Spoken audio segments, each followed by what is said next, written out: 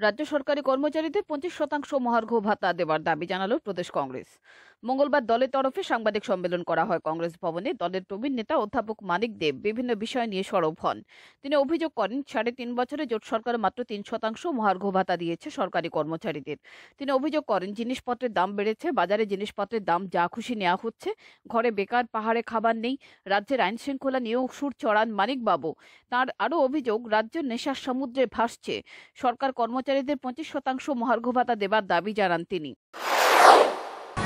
কেন্দ্রীয় সরকারের কর্মচারীরা জুলাই মাস থেকে পঁচিশ শতাংশ মহার্ঘ ভাতা পাচ্ছেন।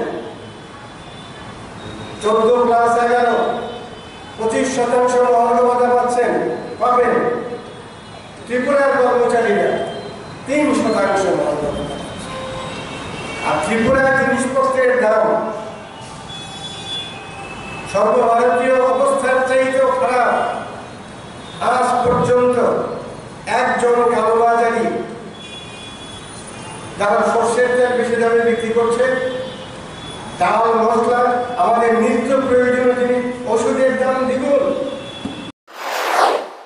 বছর ধরে গ্রামীণ ব্যাংক লাভের মুখ দেখে আসছে, প্রত্যন্ত এলাকায় পরিষেবা দিচ্ছে গ্রামীণ ব্যাংক।